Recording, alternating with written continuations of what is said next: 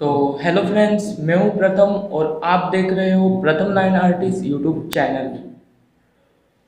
और आज मैं आपको बताऊँगा कि कैसे आप शेडिंग और ब्लेंडिंग करें कलर पेंसिल पेंसिल और पेन से। तो चलिए वीडियो शुरू करते हैं। तो फ्रेंड्स जैसा कि मैंने आप लोगों को पिछली वीडियो में बताया था कि किस तरीके से आप ग्रिड लाइन का यूज़ करके आप आसानी से किसी का भी फेस ड्रॉ कर सकते हो आसानी से। आसानी से आप आउटलाइन बना सकते हो। तो फ्रेंड्स जिसने भी पिछली वीडियो नहीं देखी है वीडियो के डिस्क्रिप्शन में मैंने लिंक दे रखा है तो अभी जाके आप वीडियो को देख लीजिए। तो फ्रेंड्स सबसे पहले मैं कोरे कागज़ पर आप लोगों को बताऊँगा कि कलर पेंसिल पेंसिल और बॉल पेन से शेडिंग और ब्लेंडिंग कैसे करें। तो शुरुआत करते हैं कलर पेंसिल से। तो फ्रेंड्स यहाँ पर आप देख ही सकते हो कि ये मैं यूज़ करता हूँ। ये है डॉम्स की पेंसिल और ये बहुत ही अच्छी चलती है दोस्तों। इसी का मैं ज़्यादा यूज़ करता हूँ, ये कलर पेंसिल का। तो यहाँ पर आप देख सकते हैं कि मैं किस तरीके से शेडिंग करूँगा। तो फ्रेंड्स आप देख ही सकते हो कि मैं किस तरीके से आपको बता रहा हूँ शेडिंग की ट्रिक पहले दबा कर कीजिए। और उसके बाद आपको हल्का हल्का ड्रॉ करना है। और ये है शेडिंग दोस्तों। इसे कहते हैं शेडिंग पर अब इसे करना है ब्लेंडिंग तो फ्रेंड्स जैसा कि आप देख ही सकते हो कि ये ज़्यादा स्मूथ नहीं लग रहा है। मैंने शेडिंग की ली है, पर ये ज़्यादा स्मूथ नहीं लग रहा है। पर आप इसे स्मूथ कर सकते हो, एकदम चिकना कर सकते हो यहाँ से। तो कैसे करें? तो पहले फ़र्स्ट आपको वाइट पेंसिल लेनी है, और ये डोम्स पेंसिल में ही होगा। ये तो मुझे नहीं पता, पर मैं तो ज़्यादा डोम्स की ही पेंसिल यूज़ करता हूँ। तो आपको मैं ये वाइट पेंसिल लेनी है, और यहाँ से इसे स्मूथ बनाना है। तो देखिए दोस्तों, मैं इस तरीके से स्मूथ करता हूँ इसे। तो आप, जैसा कि आप देख ही सकते हो कि ये स्मूथ हो रहा है।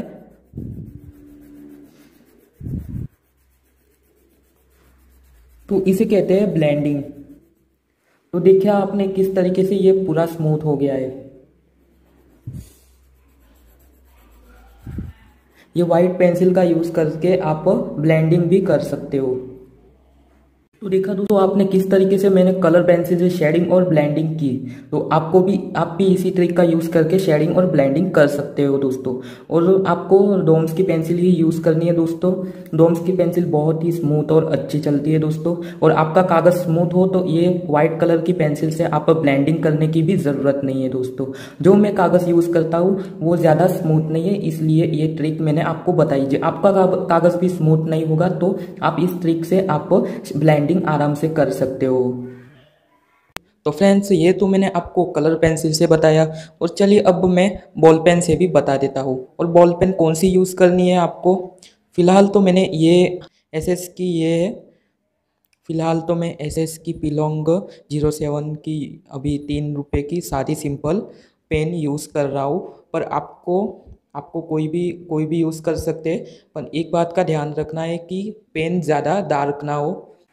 तो फ्रेंड्स जैसा कि आप यहाँ पर देख सकते हो कि मैं ये शेडिंग स्टार्ट कर रहा हूँ इससे। और इससे शेडिंग करें तो बहुत ही केयरफुल होके दोस्तों केयरफुली शेडिंग करें। सावधानी रखें दोस्तों, क्योंकि ये पेन है। ये दोस्तों हो रहा है, पर जैसा होना चाहिए वैसा नहीं हो रहा है।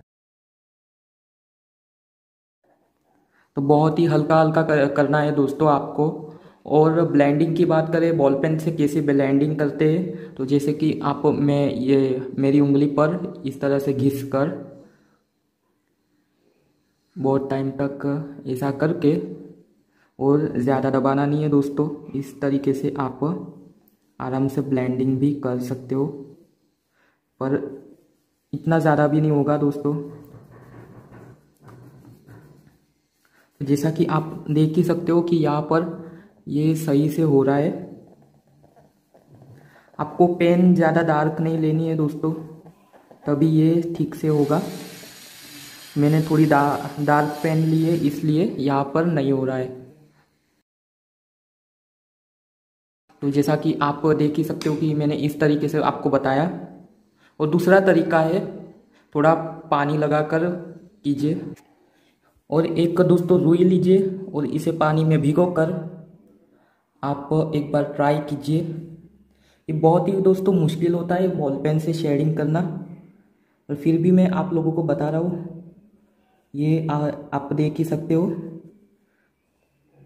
ये थोड़ा बहुत हो ही रहा है। तो दोस्तों आपने जैसा कि देखा कि किस तरीके से मैंने ये शेडिंग और ब्लेंडिंग बताई आपको। और दोस्तों अब मैं आपको बताऊँगा कि पेंसिल से कैसे शेडिंग और ब्लेंडिंग करें। और दोस्तों, इसमें पेंसिल में ज़्यादा ट्रिक होती है कि शेडिंग और ब्लेंडिंग की। तो मैं जितनी हो सके उतनी बताने की कोशिश करूँगा आपको। तो चलिए, ये मेरे पास है डोम्स की पेंसिल। इससे ज़रूरी नहीं है कि आप शेडिंग की एक्स्ट्रा पेंसिल लें कि एच बी टू बी सिर्फ़ इसी से भी काम चला सकते हो आप।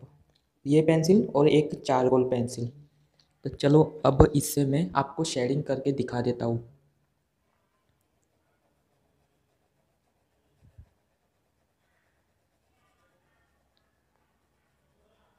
तो जैसा कि आप देख ही सकते हो कि मैं किस तरीके से इसे शेडिंग कर रहा हूँ। और ये आप देख सकते हो कि ये ज़्यादा डार्क नहीं हो रहा है। तो यहाँ पर आपने देखा कि ये मैंने शेडिंग की। अब आप चाहो तो इसे ज़्यादा डार्क भी कर सकते हो। बॉल पेन का यूज़ करना हो तो बॉल पेन का यूज़ कीजिए।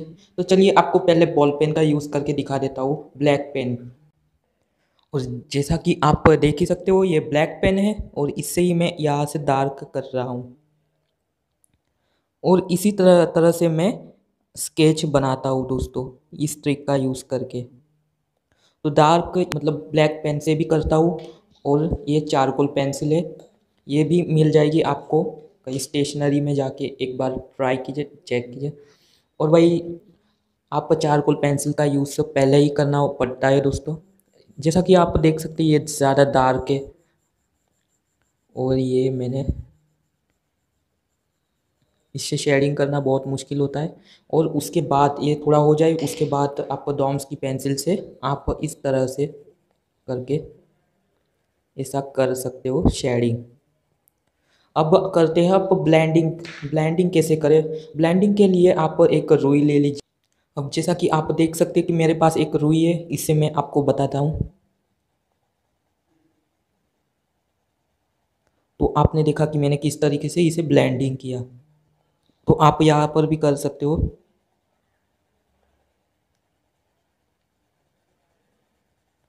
तो इस तरीके से आप आसानी से इसे स्मूथ और ज़्यादा चिकना कर सकते हो दोस्तों।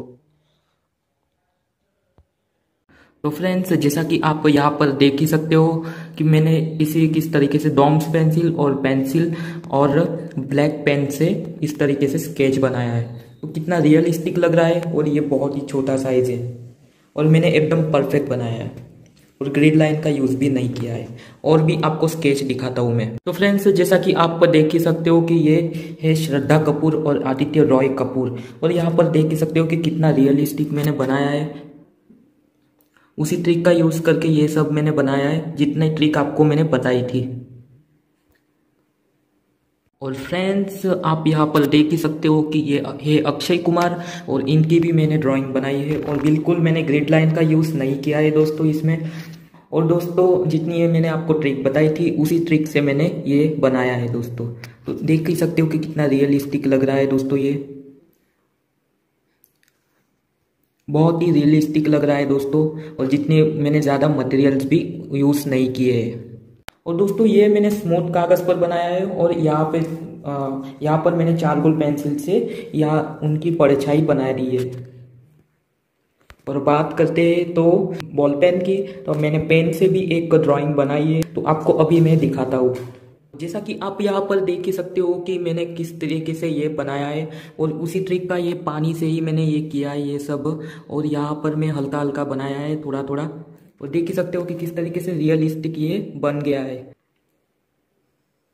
और मैंने ये एकदम तीन रुपए की पेंसिल तीन रुपए की बॉल पेन से ही बनाया है दोस्तों। कुछ ज़्यादा महँगी बॉल पेन भी नहीं ली है ज़रूरी नहीं है कि दोस्तों ज़्यादा मटेरियल्स ही चाहिए आपको। ड्राइंग करने के लिए कम मटेरियल्स में भी बना सकते हो दोस्तों। तो वीडियो पसंद आया हो तो मेरे चैनल को कर लीजिए सब्सक्राइब और दबा दीजिए वो बेल आइकन।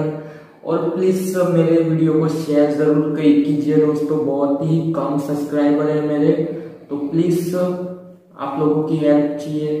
प्लीज़ मेरे चैनल को सब्सक्राइब कर दो और प्लीज़ शेयर कर दो इस वीडियो को। तो मिलते हैं नेक्स्ट वीडियो में दोस्तों। बाय